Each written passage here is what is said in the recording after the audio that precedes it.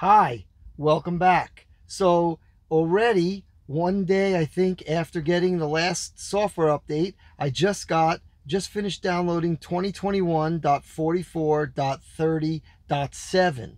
Um, we're going to check it out. I don't know that there's a lot of differences. I know a few details I'll go over with you. But one thing I did notice um, when I got 2021.44.30.6. I didn't notice it till after I made my video is when I tried to voice control a text, I would say, you know, text so-and-so and the car would bring up the phone interface. So I couldn't voice text that way. If someone texted me, I could reply and everything worked as expected. But if I wanted to initiate a text using voice commands by saying text so-and-so, it was not working. So I'm hoping that's corrected in 2021.44.30.7, which we're going to review right now. So I'm going to flip the camera around and we're going to take a look.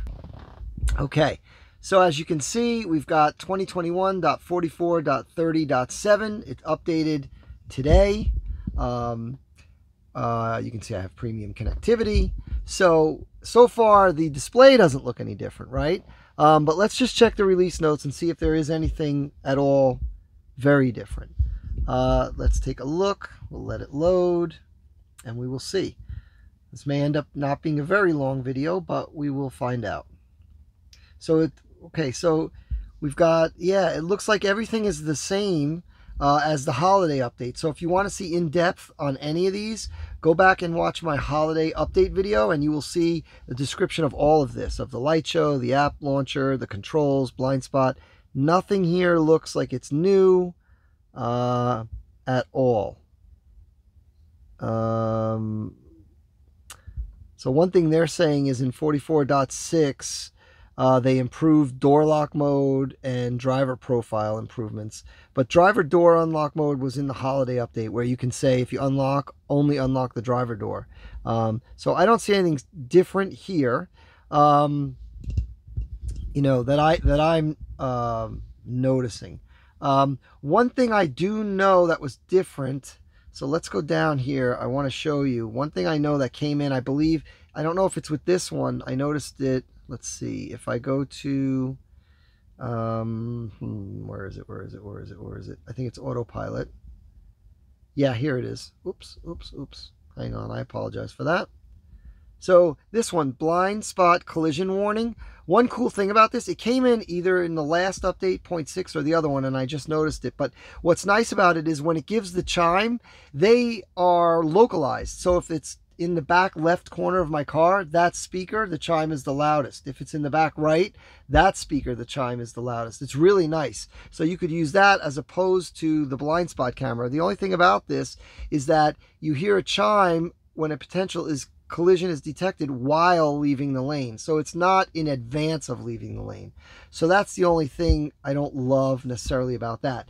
Now, one thing I wanted to check because they're saying you can do the light show all year long, which I know that, but what I wanted to see is, um, where is it? Where is it? Um, do, do, do, do, do, do, do, do, do, do, do, do, do. Hmm, where is the light show? Uh, oh, light show. What is this going to uh, okay, no. So I thought you could customize the light show. I don't know why. I thought I had read something, but apparently not. So let me turn the camera back around. So everything I've read said that this is they needed more updates for the heat pump issues, which affect Model 3s that are newer, like this one, 2021 Model 3s, uh, and also all Model Ys that have heat pumps. They're still having issues. Uh, apparently 2021.44.30.6 did not correct them, and there are still more reports of people's heat being lost even while driving. Uh, so this is supposed to address some of that. Now I'm going to test whether or not the texting works. So we're going to do that right now. I'm going to press the button and see what happens. Let's try it. Text mom. No, it brings up the phone interface again. So the phone interface comes up. So not good. Uh, they've got to fix that. I don't know why that happens. So that still has not been resolved. So as an overview, there's not a whole lot new in um, 2021.44.30.7 that is was not really as far back as the holiday update. Most of the features are the same. I know they've been struggling with the heat pump improvements in the last two updates. And as I said, those warning chimes I discovered when you, wherever the collision may be, it focuses the sound in those corners. So that's something I discovered that's slightly new. Um, and, and again, it's it's I think it's a good feature. I like that it does that with the sound and kind of you know you can automatically know even if you you know you can't glance down at the screen, you'll know right where it's talking about, which is nice because it focuses the sound. So that's pretty much my review. It's not a huge update. I wanted to get it out to you guys and let you know that. Um, thanks for watching again it, you know if if you have subscribed i appreciate it thank you if not consider clicking subscribe like share it really helps out the channel so thank you and we'll see you next time